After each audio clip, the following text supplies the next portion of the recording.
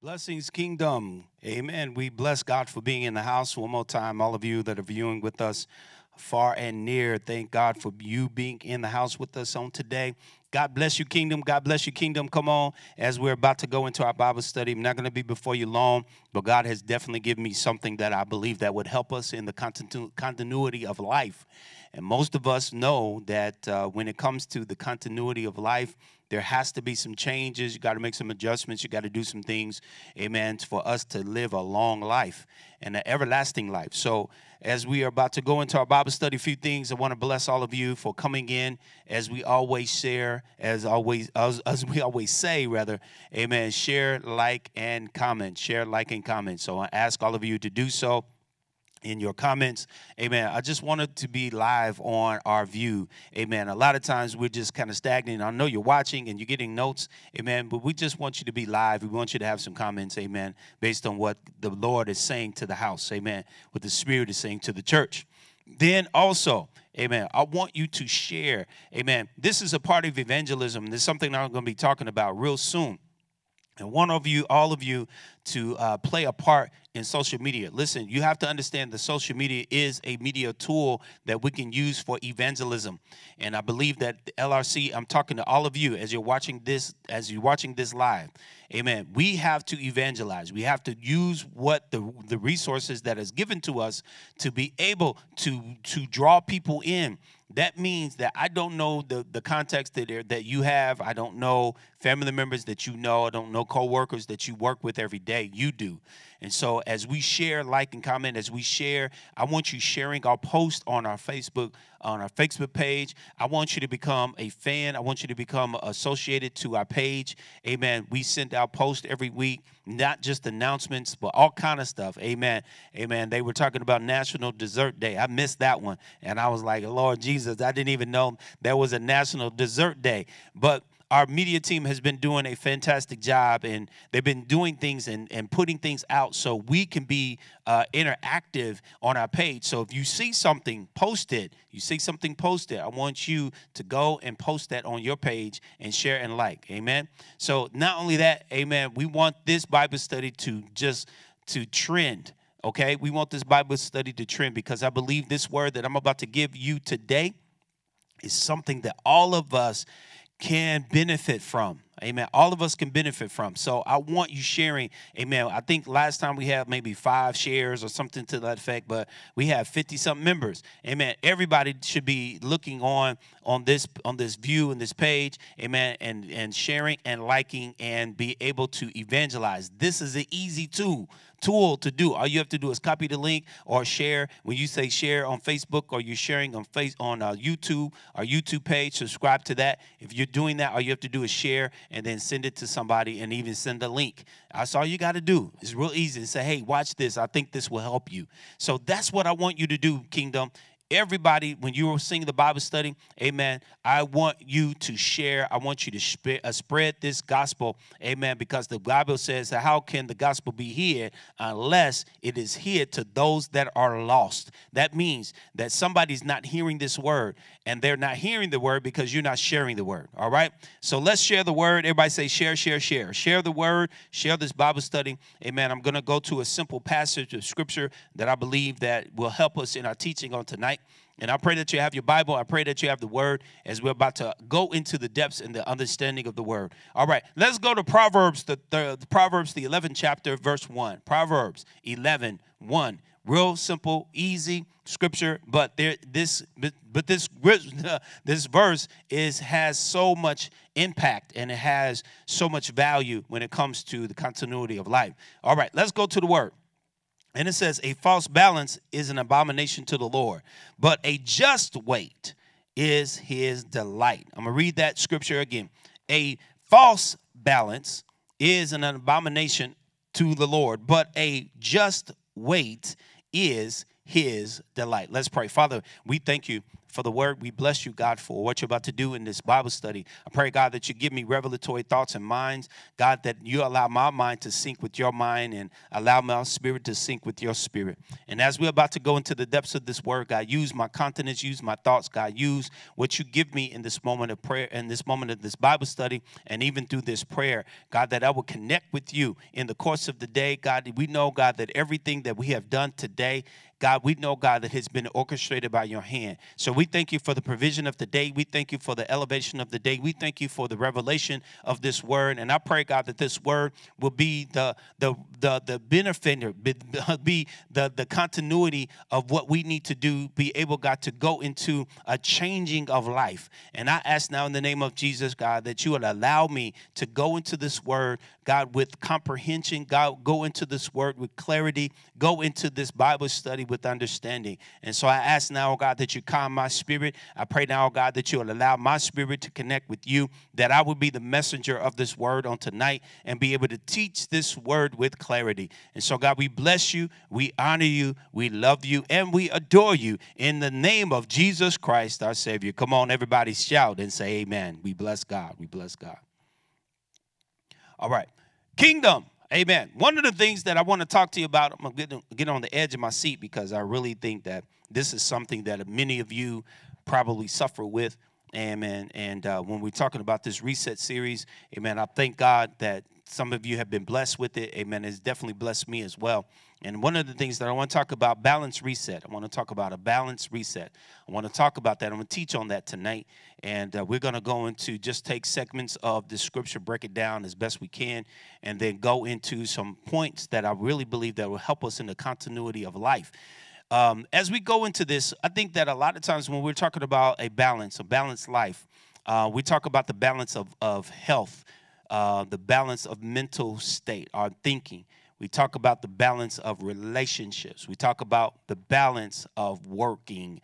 We talk about the balance of, we talk about, or even think about the balance of relationships. I think I said that before. We talk about, or think about the balance of, of, uh, of a marriage, a relationship, how husband, wife, children, how do we balance these things? Amen. I, we, we talk about the balance of relationships uh, in our before I do uh, before you say I do classes because we have to understand even in the balance of a marriage there's a trifold understanding of the individuals that are in the marriage. Prime example. Um, the person, the male, the male that is in the marriage, he is a man, he's a husband, and then if he has kids, he's a father. And so he has to balance his weight. He has to balance who he is at the time based on the challenge that is presented to him. I hope you hear me good. The reason why I say that because there's times that he has to balance his integrity as a man. Then he has to balance his relationship as a father and as a husband. And those aspects are sometimes can commingle themselves and sometimes they can be off balance. And so the same thing with the wife, the woman, though she is a woman first, then she's a mother, then she's a wife or a wife and then she's a mother in that order. The reason why I say that order is because God created her as a woman. When she got married, she became a wife first, and then there she became a mother. So a lot of times, I think what happens in the relationship, even with marriages, um, a lot of times we don't know how to stop being fathers and being mothers and we don't know how to be husbands and wives. And then there's an imbalance of how to be men and women.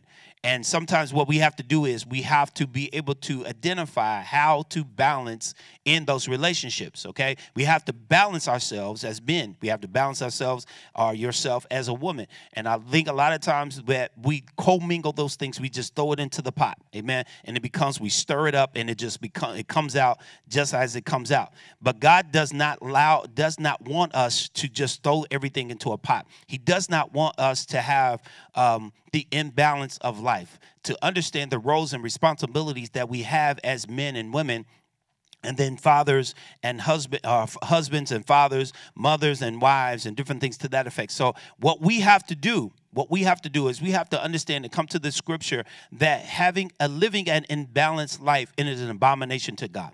Amen. That means it disgusts Him. That means that He is not pleased with it. Amen. When we talk about the abomination, so when we talk about the falseness of balance, that means that it is not a um, it is when we talk about the falseness it, it means in the aspect of, of the hebrew it means that is a disgrace so when he says uh, let's break the scripture down a false balance a disgrace balance is an abomination disgusting to, to the lord so we have to identify within ourselves that we have to come to the conclusion how am i is my life balanced you got to ask yourself that question is my life balanced Okay, so when we talk about the, the, the balance, to identify even balance, what does that mean?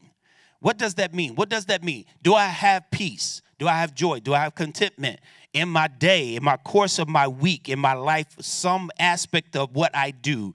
Do I have something that that balances me out? Am I always stressed? Do I always have anxiety? Am I always overworked? Am I over, over, over, always overpressed? Am I always doing something? Am I doing something to the point that my body does not allow me to have the proper rest? You have to ask yourself that question. Am I a busybody? Even the Bible talks about being busybodies. Amen. Am I a busybody to the point that I don't have a moment that I can take a me moment? And I believe that a lot of us, we have to take the moment that we have to have a me moment. Amen. Amen. Tweet that. Amen. We got to have a me moment. Put that on Facebook. Put that on your page. Everybody say, I have to have a me moment. The me moment comes to the point, and, and I'm going to the scripture. The me moment has to come to the point of Matthew, uh, Matthew 14, 22, and 23. And even Jesus, I'm gonna give you, I'm gonna give you a prime example. Even Jesus stealed away. Even Jesus had a me moment because we talk about ministry all the time. We and, and a lot of times we always think that Jesus was on 24 7. Um, Jesus ministered all the time. Every time that he came into the town, he was always ministering. He was always ministering. He was always ministering. And there were t- there were several times in the Gospels that even in, in even in Matthew that Jesus stealed away. He stealed away. I'm gonna prove it to you in the in the in the passage of the Scripture. So if Jesus stealed away, how come we can't? That means that we have to have the balance. That means we work, we play, we do the things we need to do, but there must be a moment that we have to steal away. Okay, I'm gonna go to the scripture and then I'm gonna give you some points. Okay, Matthew, the 22nd chapter, and it says, And straightway Jesus constrained his disciples to get them into the ship and to go before him into the other side. Check this out while he sent the multitude away why he sent the multitude away. Then let's go to the next verse. And when he had sent the multitude away, he went up into a mountain apart to pray. Check this out. And when the evening was come, he was there alone. I pray that ministered to you right there. The reason why I bring I, I'm bringing this passage of scripture into this teaching, which is not a part of hermeneutics. I know that when we get into the hermeneutics, we always stay in the context of the scripture and we don't cross reference, but I had to bring this into a reference uh, to let you know that Jesus stealed away. That means Jesus pushed back. He told the disciples, okay, listen, you go before me, go to the other side, amen. And therefore, when you go to the other side, what I'm going to do is I'm going to tell the crowd, go away. He was not being mean. He was not he was he was not being cruel. He was saying, "Listen, I got to I got to steal away for a moment. I went up to the mountain. That means he went to a high place. Y'all better catch this. He went to a high place. He went to a place that nobody else went. And therefore, what did he do? He went to the place alone. So here's the here's the revelation that I want to get to bring to you out of this scripture. Amen. One, he stealed away. He pushed the crowd away. He told the crowd to go away. That's number two. Number three, he went to a high place. He went to a place that nobody else could go. Number four, he went to the place alone. Okay, so I want to minister to somebody that when we're talking about the balance and the continu- continuity of life, there has to be a moment that you have to have a me moment. Jesus had a me moment. Why? It's because, it's because he knew that he had other assignments that were before him. He knew that he had to have the energy to do the assignment that was before him. And many of us are working not on 100%. We're not working on 100% energy because we have exhausted everything into the aspects of the assignment. That means whatever your assignment is. That means when I say your assignment, your assignment as a man, husband, uh, as a father, your assignment as a wife, a woman, and a mother, your assignment as a son, your assignment of who you are, what you do every day. There has to be a moment that you have to re energize yourself. There has to be a moment that you have to take a me moment to get re-energized. It's because it goes back to the Energizer Bunny. Amen. I know that's a that's a funny funny commercial, but at some point batteries do die. Uh, y'all better catch that. At some point, battery batteries do lose energy. And uh, that we have some re, we, uh, rechargeable we have some rechargeable batteries that we that we use at the house uh, on this particular on this lighting set that I have outside. And what what it does is this is revelation y'all. What the, what it does it gets energy from the sun. Now it does not illuminate during during the day but at the top of the light the light the batteries inside of the lighting house and on top of the housing there is a little panel of solar energy that re- regenerates or gives energy to the batteries that are inside.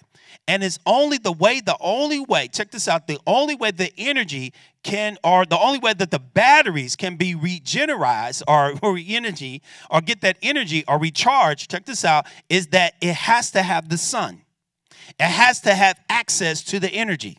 So if there is a cloudy day, if there's a day that um, you know is raining and there's no sun, check this out.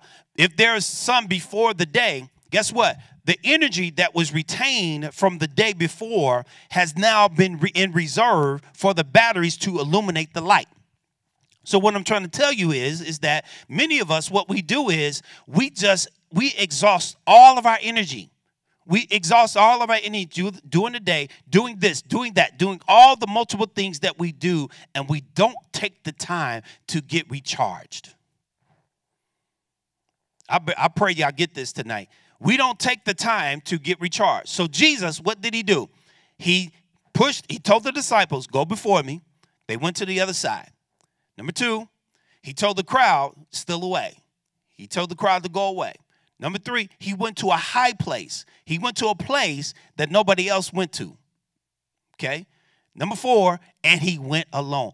The reason why I really believe that it's important for us to understand this is because we try to take too many people into our alone place. We try to take too many people in our me moment. And there's got to be a moment that you have to have the balance of life. You have to have a mental balance. You have to have a spiritual balance. You have to have a physical balance. You can't press and do everything all day, every day, all to die, and never have the moment that you got to have some re- some some energy or to get recharged. I pray, I'm praying, I pray this help is helping someone tonight. So um, I bring this scripture to because uh, even down to doing some research, it says that the continuity of life and the balance of life is important because during the during the workday we have moments either however you may be working. You may be working a part time job. You may be working an eight hour job. You may be working a ten hour job. Amen. In the in the day of a twenty four hour day, majority of our time is either producing, we're working, or we on assignment.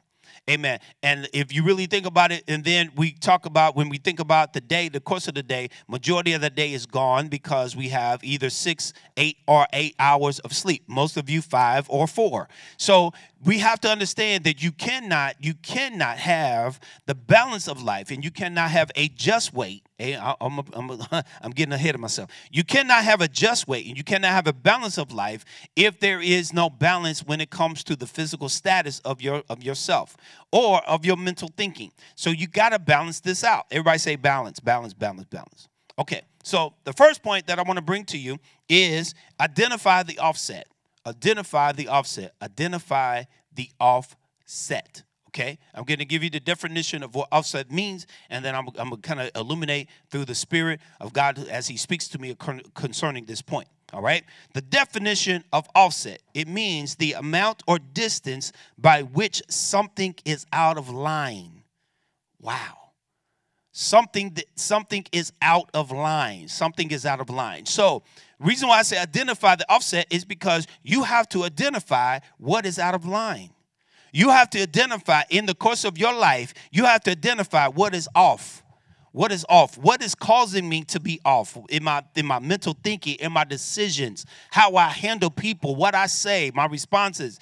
And many of you must understand that the reason why you're so angry, the reason why you have a haughty spirit, or the reason why you talk nasty to the people is because maybe you're offline. Maybe you're out of order. Maybe you're offset and you don't have enough enough energy to have the patience of God it's because your body can only handle so much stress your body can handle only only handle so much anxiety your body can only handle so much weight that's my next point. Amen. Uh, before I get there. So you have to understand there has to be a point that you have to identify what is off, what is out of line. What is out of line? What causes me to be out of line? Is it people? Is it places? Is it things? Is it challenges? Is it people? Is it is it relationships? Is it my children? Is it my husband? Is it me? You have to ask yourself the question, what is offline? You got to identify what is off. I pray this is ministering to somebody because if you really think about how we think about the course of our day, amen. And somebody is saying right now, ain't nothing wrong with me. Yes, there is. Because if you really think about, if you really think about who you are, we're always doing something, check this out, for someone else, but very seldom that we do self-care. And we have to have self care. We have to take care of ourselves. Amen. The reason why, amen, I, I kind of took off Bible study is because I realized that my body was, oh, I was overdoing it. And I had to take a moment to say, okay, enough. Let me rest. Let me get my mental state together. Let me get my spiritual stuff together. Amen. And sometimes we have to say no. And I think a lot of times that's the problem when it comes to being uh, uh, having that continuity of life. There has to be a moment that you say, listen, I can't handle that. Or no, I can't do that because I, am I'm, I'm overdoing. And a lot of times we get committed to a situation, we get committed to people and relationships. So we have to say yes. We have to be there. We have to uh, expose ourselves and and and expose our energy to somebody else's assignment. Y'all, y'all, better, y'all better hear me today. We have to, we have exposed ourselves to somebody else's uh, challenges and issues, not resolving our own. And so now we're exhausted, we're frustrated, and now that frustration comes out in our mannerisms, it comes out in our character, it comes out in our talking, our responses. And God is saying there has to be a balance. And when you're in a false balance, isn't a disgusting thing to God. Y'all better catch that. And I don't want to be disgusting to God. Amen. I want to live a balanced life. Amen. I want to live a balanced life where I can have some fun and go off and do some things. I want to be able to do some things that I need to do. And I'm I'm guilty of it. Amen. I raise my hand. I am guilty of it because I work my the way my work is. Amen. And I've been praying about it. Amen. I work 100 hours. Amen. Every 2 weeks, every 15 days, and that's a long that's a that's a whole lot of hours. Amen in Jesus name. So we all have to have a moment that we have to have balance. We have to balance the way that we think, the way we the, the way we the way we respond, how we are in relationships. We got to have moments that we date and go out and have movie time and doing all that kind of stuff and everything else. Amen. We all yes, I'm saying it is because we got to do it. We have to all have to do it in Jesus name. So you have to identify what's off. You have to identify uh, which is something out of line. What is out of line in your life? Is it your thinking? Is it that the fact that um, you're always there for everybody else, but you're never there for yourself? You have to ask this question what is off? What is out of line? Identify that. Then make the necessary adjustments. Okay? That's the point number two. Make the necessary adjustments. Make the adjustments because God is telling us that it, that if your if your false balance is, is at a point that you don't have joy, peace, check this out, the fruit of the spirit. Okay? If you don't have, thank you, thank you, kind spirit. Thank you, kind spirit. If you don't have Galatians 5:22, amen, the fruit of the spirit, which is joy, peace, meekness, temperance, long suffering. Against such there is no law. That means that that means that you're not connecting with the spirit of the uh, spirit of the living God. Therefore, when we connect with the Spirit of the living God, the Spirit of the living God will give us the peace. It will give us the joy. It will give us the con- contentment. It will give us the long suffering. It will give us the meekness that we need when we're facing challenges and situations that are overwhelming. So we got to make the adjustments. Everyone say, make the adjustments. That's point number two. You got to make the adjustments. You got to make the adjustments. Evaluate, identify what's off, and then make the adjustments. You got to know, you got to know within yourself that when you make the necessary adjustments when it comes to the continuity of your life, amen, there may be some eliminations in some things oh, that's that's that's rough. That's real rough right there. And I'm gonna tell you why that's rough. It's because a lot of times in our life we like to add things to us, but we don't like to dismiss things. We don't like to remove things from our lives. It's why because we think we're missing out, or we think that we're uh, maybe uh, hurting someone's feelings, or different things to that effect. But you have to understand that that the person that you may say no to must understand that you're trying to have a balanced life. It's not to say that we can't help every every you know help people every now and then. I'm not saying that. What I'm saying is is that when you get to a point that you are exhausting yourself for everyone else and you're exhausting yourself for your job and this and that and everything, you don't have a me time for yourself. Therefore, you are now living a false balance. You're living a false balance. And God does not want us to live a false balance. So you need to make the adjustments. Make the adjustments with your wife, your husband. Make the adjustments as a man. Uh, monitor yourself and say, you know what? Here, let me. Uh, okay, let me put it like this: How you monitor yourself. Okay, prime example. Do this for the week. Go through the course of the week and say, okay, if I'm planning, if I plan to do something on this day, do I do it at the time specific that I say I'm going to do it, and then I designate so many so so much time to that assignment. Then i look at do i am i committed to it? And then do i do it?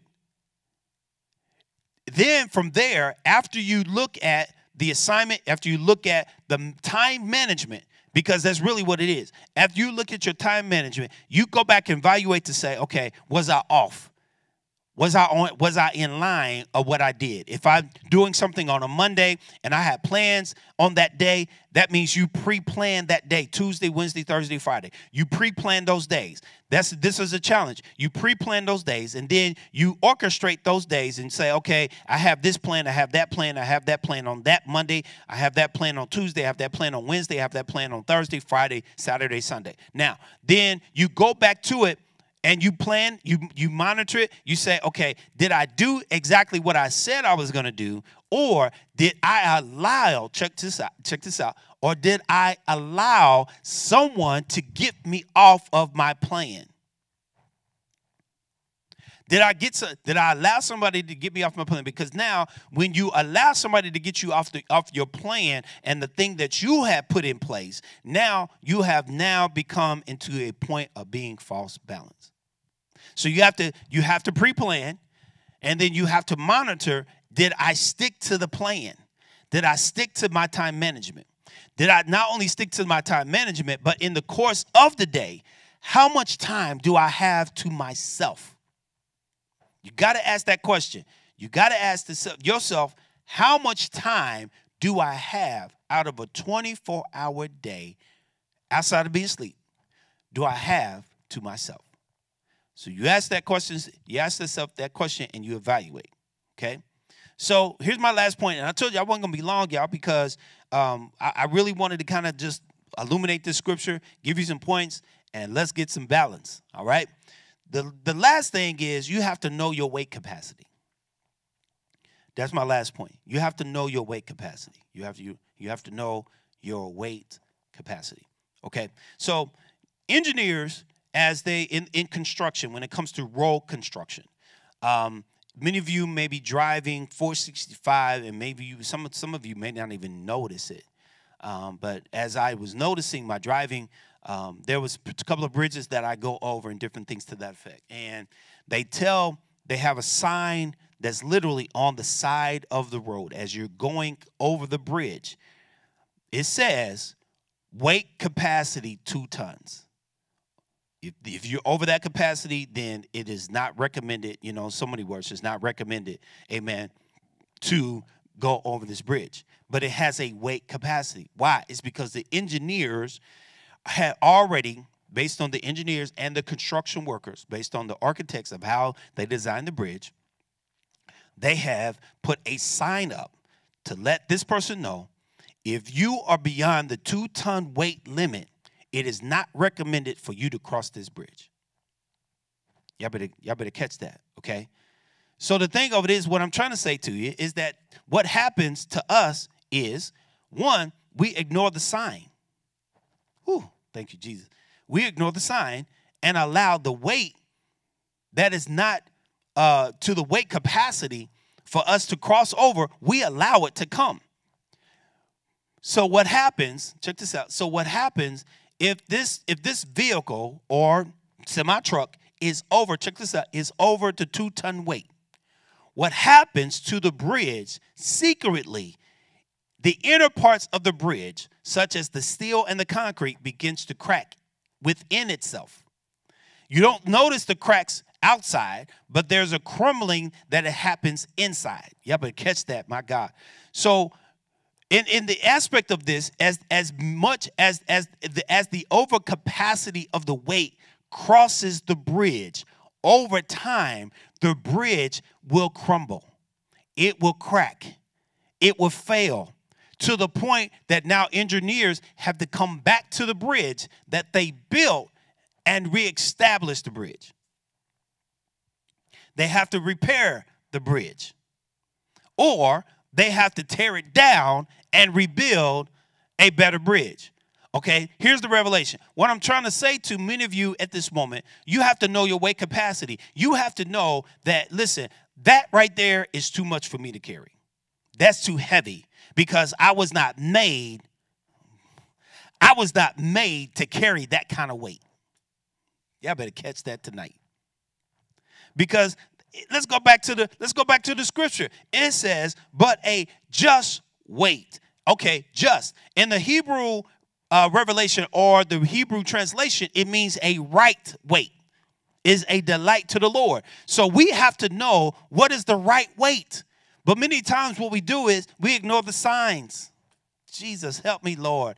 We ignore the signs. Your sign may say, I could only hold so much weight, but we ignore the sign. And so, what we do, we take on everybody's stress, we take on everybody's problems, we take on all the things. We do this, we do that. We say yes to this thing, we say yes to that project, we say yes to this. That person wants us because they know that we have the capability of doing it, so they pull us in. And we don't think, oh, wait a minute, hold up. I'm already having too much weight, so why would I pull in another project? Why would I pull in and say a yes to something? Something that I'm now uh, not, not allowing myself to evaluate to say, maybe this is too much weight. That's the reason why we're stressed. That's the reason why our bodies are breaking down because the inner parts of our body are breaking breaking down. You having heart troubles, amen. You having palpitations, amen. You having hypertension. Come on, Jesus. I'm, I'm, I'm speaking to somebody, amen. Our knees buckle, amen. Our knees, we got knee problems, ankle problems, heart problems, amen. We got all kind of different problems going on. It's because the inner parts of our bodies are breaking down. Is why? Is because the weight capacity has now become too much, and we're not we're taking on too much weight and we're ignoring the sign. I pray I'm ministering to somebody tonight. If you're watching this moment, you got to know your weight capacity. That means you got to put a no in there sometime. You got to say, no, I can't handle that. No, I can't do that. No, it is not time for me to do. I've got this. I've already got, I've already committed. I've already done it. But what we do is we say yes because we don't want to hurt nobody's feelings. We don't want to dis, uh, uh, we don't want to dismantle relationships or anything to that effect. We don't want to hurt people's feelings. All that. It's all the above. But there's got to be a point that you got to know your weight capacity. You got to know what the right weight is because you want the Lord to be, you want the Lord, you want the Lord to be delighted in your weight. That means that you have to have a balanced life, balance in your marriage, balance with your kids, balance, amen, at your job. Come on, I'm speaking to myself. Amen. I'm speaking to you too. You got to have a balance with ministry. You have to balance, you have to balance the continuity of what you do in your time management. And I really believe a lot of times in our time management, we, we don't take the time management serious and serious enough to really spread out and to plan properly. Don't ignore the sign. If your sign says two tons and that's all you can take, guess what? Take the two tons. Don't go, don't go, don't allow yourself to go beyond your capacity. Because what did I say? What happens with these bridges? We we don't see the cracks, but the cracks are within the within the foundation of the bridge, but we don't see the crack. And so God is trying to tell me at this moment, as I'm speaking to somebody at this moment, they may not see your see your crack, but you will feel it eventually. And God is saying, we have we have to have some relief in our life. We have to have some relief when the balance of life because that's the reason why we're having diabetes problems, heart problems. That's the reason why we're overworked, we're overdressed, we're overstressed, we're overthink. A moment that we have a woosah just to take a moment, just what Jesus did. He pushed the multitude away, told the disciples, go to the other side. Go to the go to a high place. Because that's what the Bible says. The Bible says that he went uh, up into a mountain to pray. He went to a high place. So, and then here's the thing that I want to bring, and, I, and I'm done. I'm literally done. Give me five minutes and I'm done. And we're, we're going to take this thing out. When you go to the high place, the Bible also said that he went alone. Too many times we don't like to be alone. We don't we don't like to have a moment that we're by ourselves because we want conversation. We want touch, feel. We want the five love language. Amen. There's nothing wrong with that. Trust me, there's nothing wrong with it. I love the five love, love languages. But at the same time, there has to be a moment that you got to re energize. There's a moment that you got to get your energy back for the next assignment. I really believe that Jesus went to the mountain, he went to the high place, prayed, key, and went by himself so he can get re energized, so he can get renewed for the next assignment. Can you imagine how Jesus was if he was ministering all the time? He was tired. He be at he, he probably have an attitude.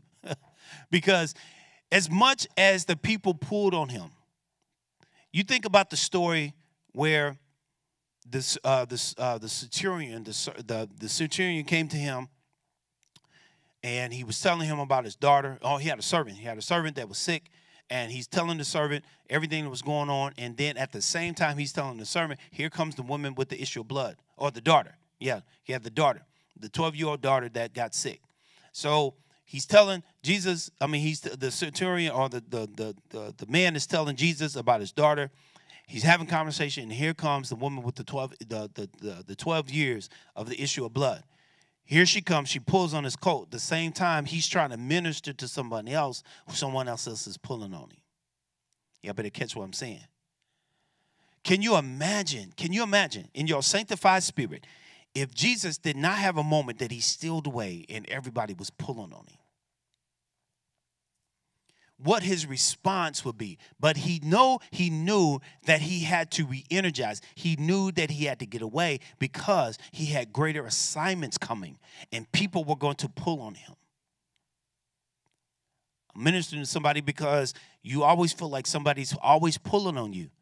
You're ministering to this person then right before right before the before that that moment comes as you're trying to minister here comes another person or here comes or family member that that you know that you help everybody you do things you do this you know everything else or that husband or that father or or that mother or that wife you're doing this thing and or prime example multiple kids you got you're dealing with one child and before you can conclude how you can resolve that situation with your one child, you got another child coming right behind it before you can even come to a conclusion. That's where Jesus was. Jesus was dealing with this man trying to get to his daughter, 12 years, and before he even can get to the conclusion of that, here comes something else. He was getting pulled on constantly. So, what I'm trying to say to you, Kingdom, is that there's nothing wrong with help. There's nothing wrong with us helping, but there's got to be a point that we got to help ourselves. There's got to be a point that we got to pull back and say, I have to have a me moment so I can be, check this out, so I could be productive for the next assignment. Truth be told, many of us are working on half energy. Many of us are working 50%. We're working on 50% energy. And it's only by the grace of God and the Spirit of God that we're able to even accomplish half the stuff that we're doing. But the Bible says a false balance is an abomination to God, but a just weight is his delight Question is, will you be a false balance or will you live a just weight? That's a good word. Will you live in a false life that will continuously have you frustrated? Will you will you continue to live in a false balance that will continue to have you walking working out of line, offset? So the question is, what kind of adjustment do you need to make to have a just weight? You got to ask yourself that question. Think about it. Think about it for a moment. Take the evaluation. Need do what you need to do and make the needed adjustments. Listen, kingdom, that's my Bible study tonight. I pray that you're blessed by it.